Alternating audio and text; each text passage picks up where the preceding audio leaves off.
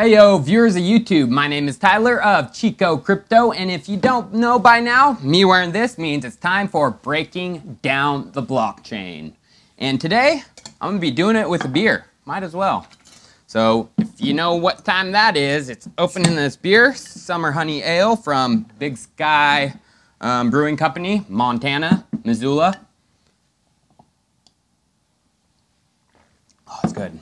So, coin flip time. If I don't make this, first person to comment, win some crypto. Let's go. Woo! So yesterday, I took to my Twitter community to ask for some help deciding which project should get a Chico-style breakdown. While the community spoke, and the pick with a significant lead of any other choices is Cardano. So Cardano is described as a third generation blockchain. First generation was Bitcoin and its proof of work algorithm. Second generation was Ethereum and its smart contracts. And now Cardano, which is supposedly seeing another evolution in blockchain technology. So Cardano is unique in that everything that is put into Cardano needs to be peer reviewed for legitimacy and accuracy. All technology white paper and documentation is sent to a third-party reviewer to be reviewed and confirmed for its accuracy and legitimacy. Now, this is great and all, but I have to bring up the point of who are these peer reviewing third parties for crypto protocols? How do we know these are the guys we can trust? How do we know these are the brightest minds in crypto? I agree with creator of Cardano, Charles Hoskinson, that just posting a paper online and having the public view it may not be the best way to go, and there should be a better way of fact-checking blockchain technologies. The whole point of crypto and Bitcoin is decentralization, so now we're going to move towards a centrally controlled peer review. That is just my biggest gripe with Cardano, and I had to get it out there, and one thing I don't like about it. So the technology behind Cardano is aiming to solve the biggest issues in cryptocurrency, scalability, interoperability, and sustainability of the blockchain. Cardano is a complex and difficult project to grasp, even for me. Cardano has five white papers describing their technologies. First is the original Ouroboros white paper. Next is the enhancement to Ouroboros, Praos. Third is Kaleidoscope, a poker protocol, Fourth is Scrape, scalable randomness attested by public entities, and lastly is their sidechain white paper. Currently, the Cardano mainnet is running off the original Ouroboros proof of stake blockchain protocol, so that is why we will be breaking down that today and how it contributes to Cardano's scalability. To understand Ouroboros, we need to first understand what proof of stake is. Proof of stake is similar to proof of work, but it makes the entire mining process virtual and replaces miners with validators. The process works like this. A person or validator can lock up some of their coins as a stake or bet. The person can then start validating blocks. A validator's chance of mining a block is based off how much stake they have.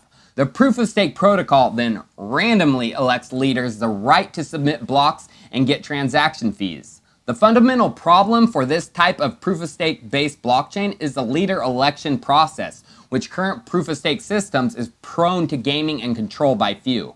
Ouroboros is the first provably secure proof-of-stake system that addresses these issues. So let's now take a look underneath the hood and see what it's all about. Ouroboros looks at the distribution of tokens in the ecosystem from a source of random numbers. They consider a setting where time is divided into epochs and slots, within the blockchain.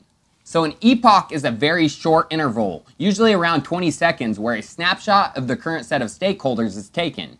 Each epoch is broken down into slots. So each slot in the blockchain gets its own slot leader who is randomly chosen. The slot leader acts as miners in the proof of work protocol in the sense that they are the ones who choose the blocks that get added. However, they are limited to adding only one block during an epoch. If a slot leader misses their chance and doesn't choose a block, they miss their opportunity and have to wait until they are a slot leader again. It is okay for one or more slots to remain empty without a generated block, but the majority of blocks above 50% must be generated during an epoch.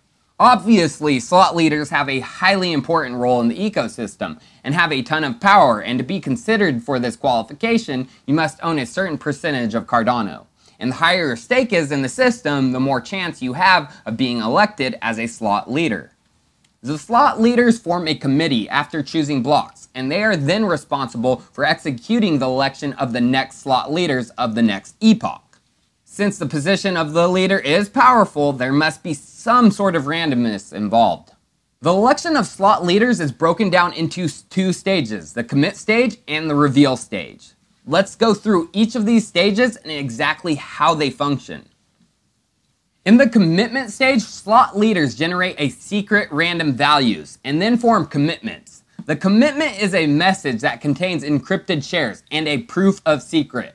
Encrypted shares will become important in the reveal stage.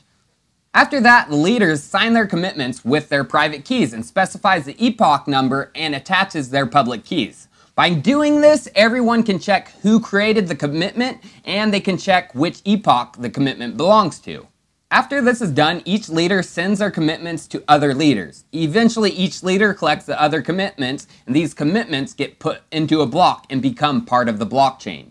You can picture commitments like a locked box that have a secret in it, and there is a sole special value that unlocks this box. How do we unlock the boxes? What's in the box? Well, this leads us into the second phase, the reveal stage, which is comprised of two phases, reveal and recovery.